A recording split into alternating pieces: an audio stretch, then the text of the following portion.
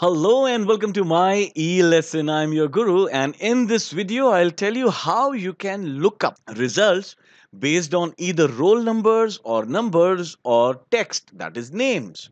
Like for example we have the roll numbers of students over here. Roll number 1 is James Bond and he has got 77 marks 007 and then roll number 2 is Thor and he has got 90 marks. Iron Man is roll number 3 99 marks. Hulk is roll number 4 and he has got 33 marks. That also he maybe threatened the teacher.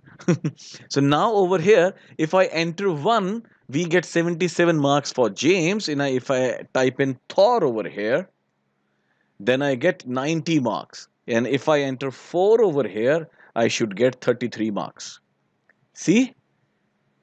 This is working even if you are entering names or numbers. I have used a combination formula over here.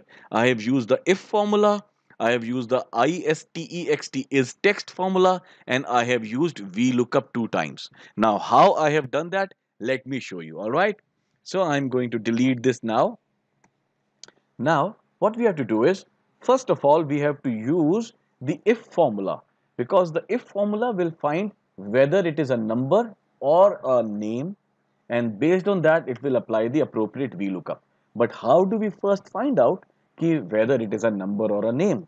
So we will use the is text formula. Alright, but we will put this formula not here but in this cell, alright, this one. So is equal to if is text. Now what this formula does is is text formula that it finds out whether this cell is containing text or a number. So I select this cell, all right, and close it.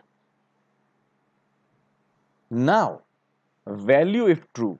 So value if true. So if this formula finds that this cell is containing a text, if that is true, then it should apply a VLOOKUP.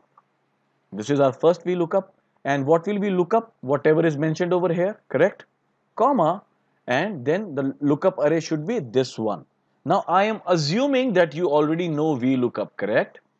If you do not, there is a description in the, there is a link in the description, sorry, and you can check that and learn VLOOKUP first, all right? Then you will be able to understand this. So we are looking up whatever is written in this cell, which can be a ID or a name, and if it is a name, that is, if it is a text, then the VLOOKUP should start from here, all right? comma and the result will be in this column that is column number 2 comma 0 bracket close. Now we will press a comma alright and we will start the second VLOOKUP. Now the second lookup is to see if the value over here is a number correct. So I select this cell which is F4 correct comma now since this is a number, then the VLOOKUP should start from here because the roll number is starting from here, comma, and should end at this column which is 3 column, comma 0, bracket, close, enter.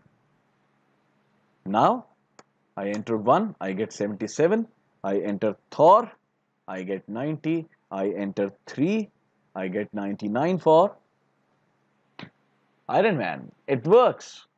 I type in Hulk. Sorry, I have to type in Hulk over here. And we get 33 marks for Hulk, which he got by threatening the teacher. I have actually gone ahead and mentioned the formula here also for you, all right, for reference. You can also go to myelesson.org and there is a page called downloads. You can go to that page and from there you can download this file for practicing. Well i hope you like this video. If you did please go ahead and like this video. And if you have a question then please comment on it and i'll be glad to answer it for you so until the next video this is your guru now signing off for the day. Have a wonderful day ahead. Happy learning